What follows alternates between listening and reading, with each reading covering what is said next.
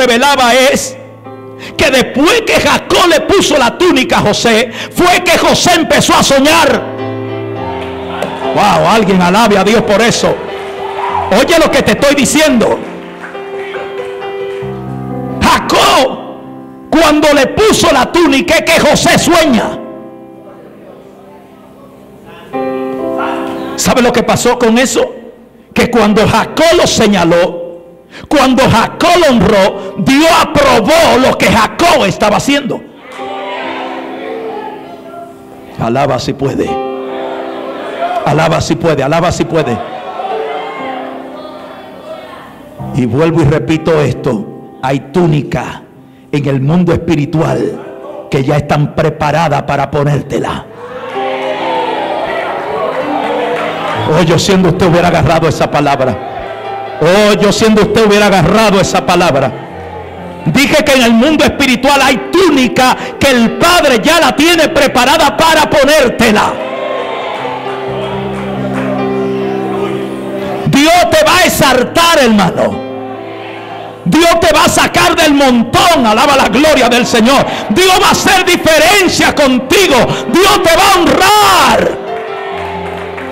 Dale aplauso al Señor. Vamos. Dale gloria a Dios por eso. Aleluya.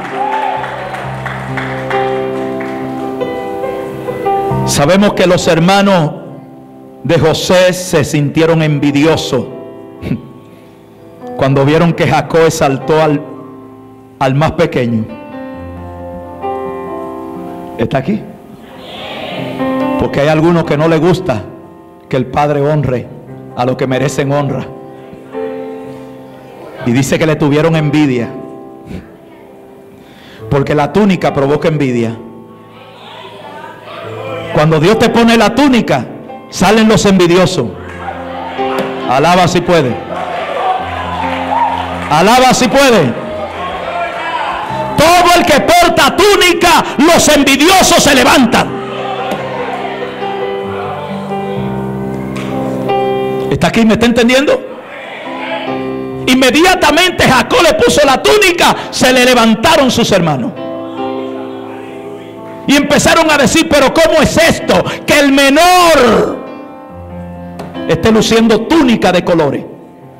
Que el padre lo esté honrando. Bueno, es que el padre no puede honrar a alguien que no lo honra.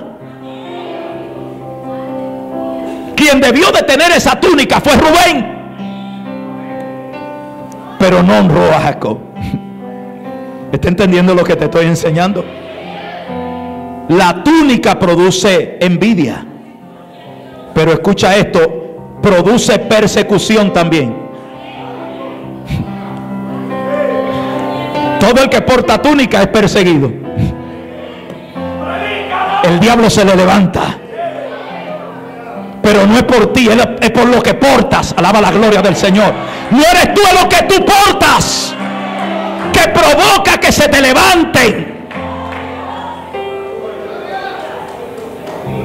La túnica provoca crítica, provoca celo, provoca traición, provoca engaño, provoca falsedad, provoca sufrimiento, dolor, soledad, abandono, traición.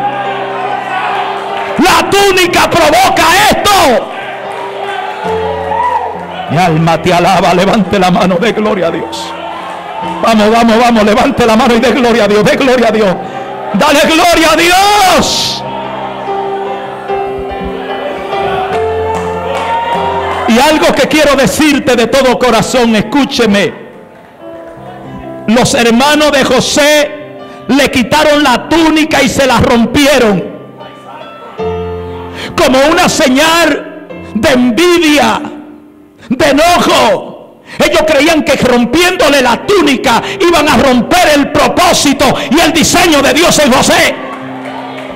Pero te tengo buena noticia.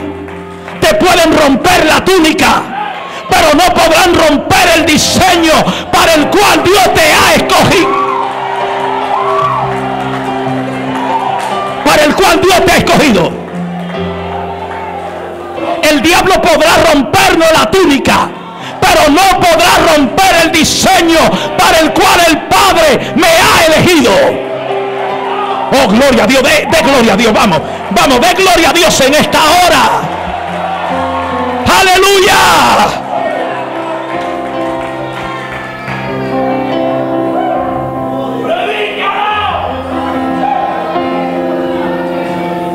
Tienes que entender esto. Una vez te ponen la túnica, el diablo se te va a levantar. Tienes que, entender, tiene que entender esto para que no te turbes. Para que no te frustre. Porque a veces decimos, pero ¿por qué me pasan tantas cosas? Lo que pasa es que muchas veces el propósito desata que esa, esos sufrimientos se te levanten. Oh, gloria a Dios, gloria a Dios, gloria a Dios. Alguien diga gloria a Dios. Aleluya. Le rompieron la túnica, pero no pudieron destruir el diseño de Dios para él. Se le burlaron. Ahí viene el soñador. Vamos a matarlo a ver qué será de su sueño. El diablo se equivocó con usted. Vamos, dígame, dígame, dígame. Dije que se equivocó con usted. Lo que tú portas es de Dios. Y lo que es de Dios el diablo no lo mata. Alaba la gloria. Oye, lo que es de Dios el diablo no lo mata. No lo puede matar. No lo puede matar. ¿Sabe lo que Dios me reveló? Que lo que es de Dios no se muere. Y si se muere, Él lo resucita. Alaba la gloria del Señor. No se muere. Por eso Ismael no se murió en el desierto. Porque a pesar de que fue una equivocación de, de, de Sara y Abraham, ya portaba el ADN de su padre. Oh, gloria a Dios. Ya portaba la promesa. Porque era hijo de Abraham, ya no podía morirse. Así que cuando se estaba muriendo de sed, Jehová hizo una fuente de agua en un desierto para sustentar al hijo de Abraham. Ay, mi alma te alaba. Alguien, alguien debe de agarrar eso. Alguien, alguien debe de agarrar esa palabra. Agárrala. Y diga conmigo lo que es de Dios no se muere. Vamos, abra la boca, que alguno no dijo nada. Lo que este Dios no se muere.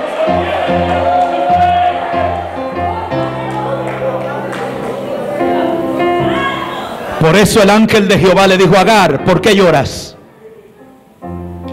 Porque mi hijo se está muriendo de sed. Y le dijo, alza tus ojos. Y cuando Agar alzó sus ojos, vio una fuente de agua. Explíqueme eso, en un desierto una fuente de agua.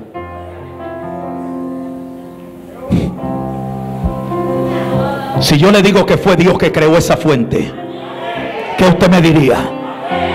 Oh, gloria a Dios. En un desierto una fuente de agua.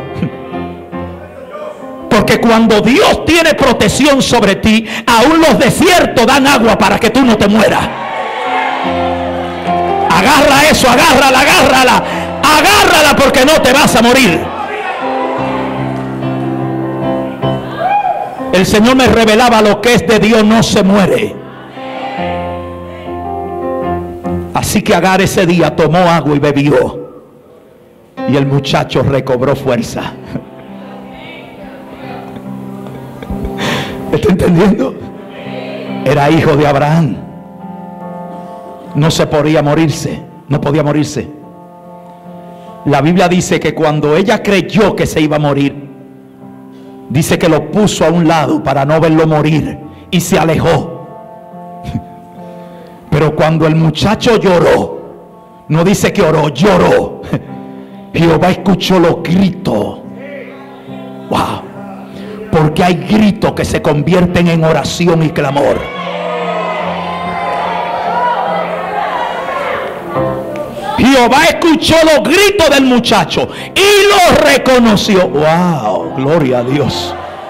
O sea que cuando un hijo de Dios grita, Jehová lo escucha y lo reconoce. Sí, Pero qué clamor fue ese lloro que Jehová lo escuchó y lo reconoció. Que portaba algo de su padre Abraham. Era heredero. Estaba bajo el pacto. ¿Está, entendiendo? Estaba